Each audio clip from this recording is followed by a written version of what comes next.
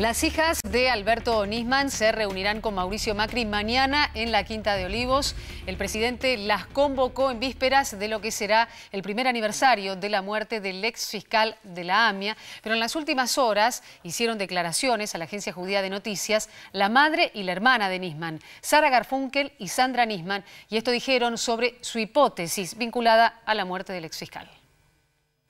Sara, a Alberto lo mataron. Sí. Alberto lo mataron. Sí. O lo ayudaron a matarse, no sabemos. No, para mí que lo mataron.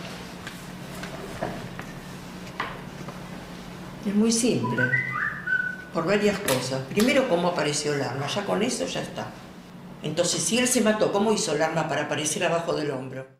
Nisman apareció muerto el 18 de enero de 2015 en su departamento de Puerto Madero con un disparo en la cabeza. Los investigadores aún no llegaron a una conclusión sobre si se trató de un suicidio o un crimen.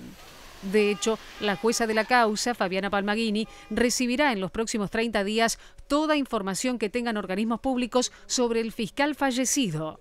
El presidente Macri decretó la apertura de los archivos de la Agencia de Inteligencia, la Cancillería, las Fuerzas Armadas, de Seguridad y Migraciones, desde septiembre de 2012 hasta hoy.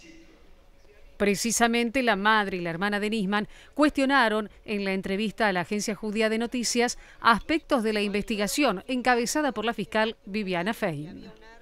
Para mí él no se mató como primera medida. Entonces, ¿qué pasó? Tantos allanamientos que hubo ahí y todo, había un jefe de policía, yo le preguntaba que me explique, ninguno me explicaba, todo me daban vuelta. Las hijas de Nisman fueron convocadas por Mauricio Macri a la Quinta de Olivos. Yara y Carla Nisman serán recibidas este domingo en lo que será la víspera del primer aniversario de la muerte del fiscal de la causa AMIA.